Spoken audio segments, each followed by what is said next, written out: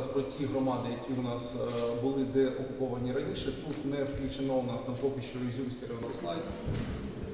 Це та ситуація, яку ми мали до відповідно події нашої нашу окупацію.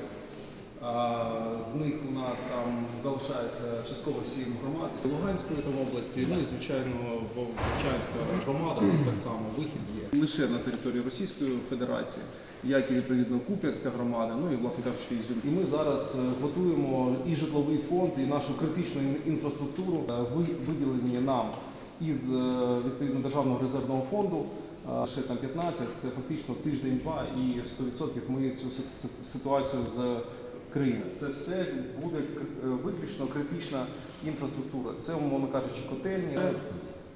Так, вони це відчувають, тому що Ну, Ну, в Значить, це у нас е, ті руйнації, які у нас ще залишаються, які ми ще не зробили. Всю абсолютну потребу у коштах у нас зараз е, готовність. Ну, для розуміння, минулого року ми були на рівні 90%, на це так само, 82%, тобто ми йдемо за планом. Далі.